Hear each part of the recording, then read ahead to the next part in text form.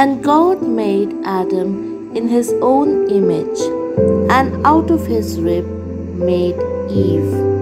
God gave Adam and Eve dominion over the Garden of Eden and over all the earth. He told them to eat the fruit of any tree except the tree of knowledge, for he said that if they eat the fruit of that tree, then they will die. Eve walks around the Garden of Eden along with Adam. Just then, Look at this yummy and delicious apple. It is going to be the most delicious fruit.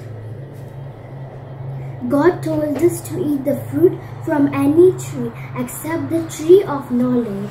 God told us that if we eat the fruit from the tree of knowledge, we shall die.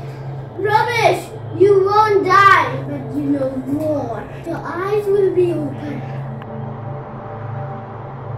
And you will be just like God. Don't you want that? Come on. Eat it.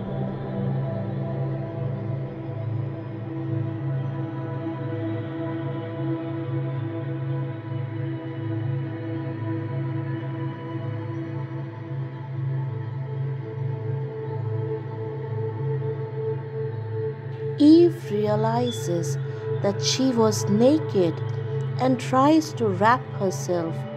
Just then, she sees Adam. Why are you laughing? What's the matter? Look! You're naked! Why never said I'm naked? Adam. Look at this fruit. Doesn't it look yummy?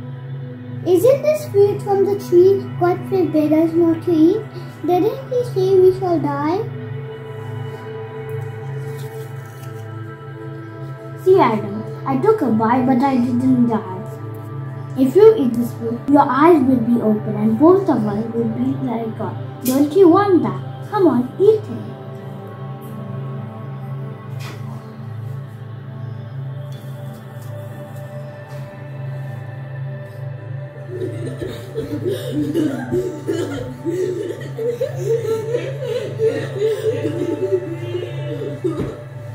Thunder and lightning strikes, and Adam and Eve fall on the ground in fright.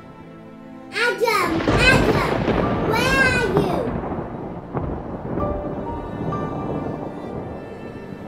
God, God, I'm scared of you as I'm naked. I told you that you're naked. Did you eat the fruit I forbid you?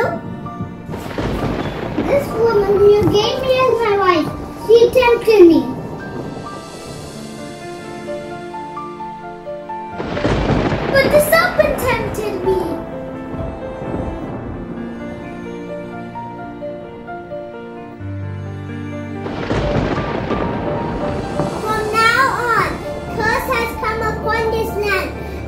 Both of you will be thrown out into the wilderness.